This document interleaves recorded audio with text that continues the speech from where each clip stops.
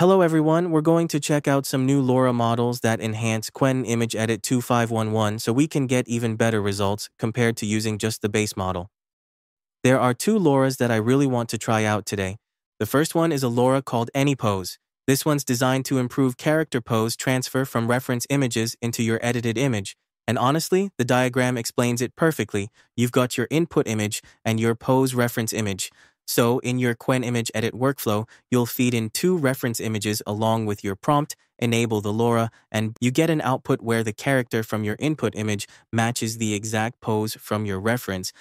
This really helps boost performance when you're relying on Qwen Image Edit, especially with the 2511 version, which sometimes struggles with OpenPose transfer.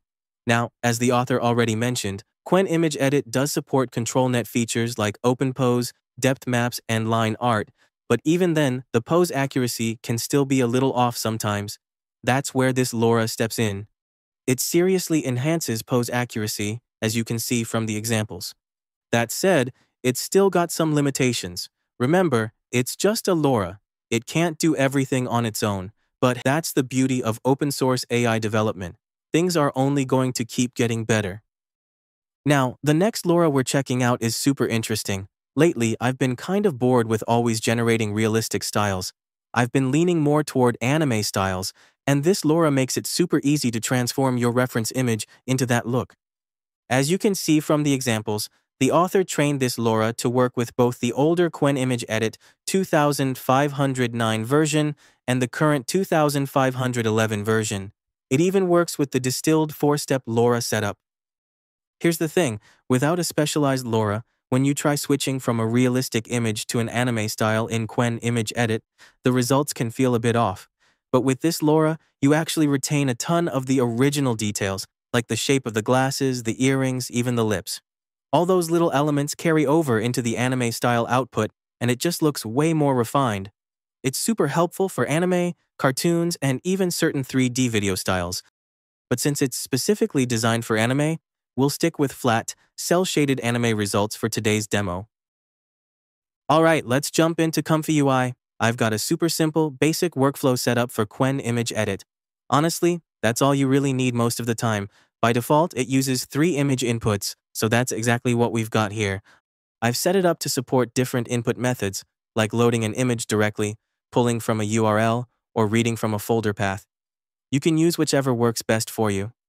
Sometimes, if I'm testing something quick, I just drag and drop the image into the loader node. Other times, if I'm pulling inspiration from Pinterest or another site, I'll skip downloading and just paste the image URL straight in. Super flexible.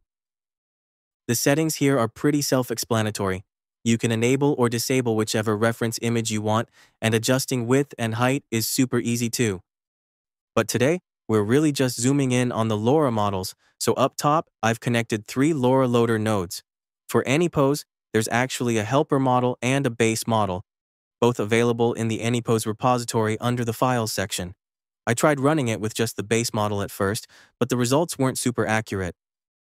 Once I enabled both models together, though, it got way closer to what's shown in the Hugging Face examples. So yeah, definitely use both. For now, I've bypassed the anime-style LoRA because we're testing AnyPose first.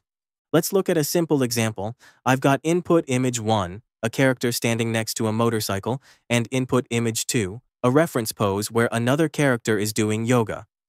The goal? Transfer that yoga pose onto the motorcycle character. And here's the result. The pose transfer is actually pretty accurate. Now, there are some small adjustments because of the environment, the feet, for instance, are kind of stepping on the motorcycle behind her instead of floating in midair like the original yoga pose. So yeah, it's still a bit hit or miss sometimes, but it's a diffusion model. There's always going to be a little variation. My prompt was super simple. Change character in image 1 to match the pose from image 2. That's really all it takes to trigger the AnyPose LoRa, and from there it automatically tries to preserve other elements too, like the background, the motorcycle, and even small character details. Those are all bonus features you can lean into if you want, but the core function is pose transfer. I think this LoRa is actually pretty practical for real-world editing scenarios, especially when you're trying to remix or repose characters in Qwen Image Edit. Next up, let's try a slightly more complex example. Here I'm transferring not just the pose, but also the background environment from the reference image. So I've got an AI-generated character in a weird, non-standard standing pose, and I'm dropping her into a completely new scene while keeping that pose intact. The result? The character pose matches and the background gets blended in too. But one thing to note, this LoRA only handles character poses. It doesn't bring over objects from the reference image unless you specifically ask for them in your prompt. So if you want to keep certain props or background elements, you'll need to mention them explicitly. Totally doable. It just depends on how you write your prompt. In this Comfy UI example, you can see it working. The character pose and background are both transferred. That said, you might notice some blurriness, especially around the eyes. And that's totally normal. Qwen Image Edit isn't meant to produce hyper-detailed results like Z-Image Turbo or QuenImage might. If you've got your own character LoRAs trained, those will look sharper. But out of the box, it's more about macro edits than fine details. If you do want more clarity, you can bump up the sampling steps a bit, or better yet, run the output through a refinement workflow using another image generation model. I'll show you that in a second. Here's another test. I've got two characters. One is making a very specific hand sign, and I want to transfer that exact pose to the other character. So reference image 1 is our base character, and reference image 2 provides the hand pose. The result? The pose transfers, but again, the eyes and hands look a bit soft and blurry. That's mostly because I kept the sampling steps low. Remember, Qwen Image Edit is designed for quick, lightweight edits, not full image enhancement. So next, I ran the same output through a refinement step using the image model. This really helps sharpen details, especially facial features. The hands still aren't perfect, diffusion models and hands, am I right? But it's definitely an improvement. Honestly, it's still a bit of a hit or miss, but you can always refine further in a separate workflow. Alternatively, you can crank up the denoise value.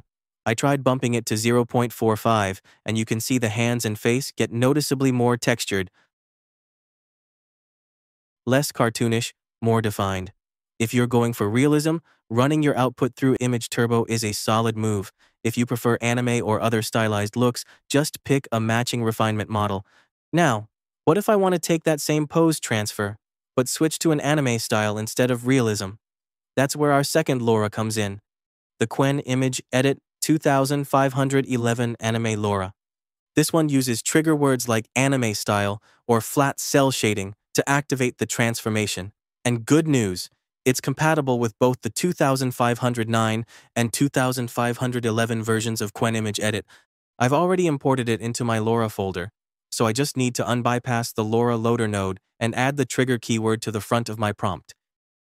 And just like that, my realistic image gets converted into a clean anime style. Take a look. Now it's fully stylized. I've been having a lot of fun playing around with anime looks lately. It's a nice change of pace. Of course, if you need even more detail, you can always feed this result into another image generation model for refinement. You can enhance everything, the textures, the lines, the shading, whatever you need. And this approach isn't limited to anime either. You could experiment with other styles too, but anime's just the example we're focusing on today. Oh, and if you want to upscale the final result, go for it.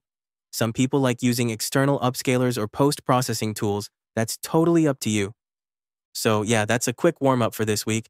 And coming up next, we're going to check out LTX2. It literally just dropped today. Right now, I'm downloading the model and trying to get it running locally, so we'll dive deep into that in the next video. I'll see you then. Have a great day and catch you soon.